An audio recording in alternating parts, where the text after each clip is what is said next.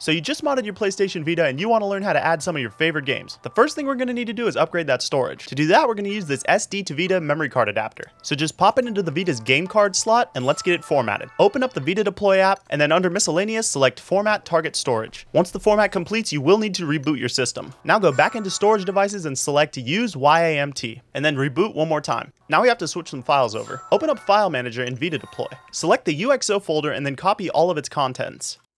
Then scroll up to the UMA0 folder and paste the contents there. Once that's done, go back to storage devices in the settings. Change the UX0 folder to SD2Vita and the UMA0 folder to internal storage. Open Vita Deploy, and in the application downloader, download the PKGJ app. This app will allow you to download backups of all your favorite PS Vita games. No more need to carry around these pesky game cartridges. Now you're playing games straight from that SD card. Stay tuned for my next Vita video where I'll show you how you can add your favorite Game Boy games.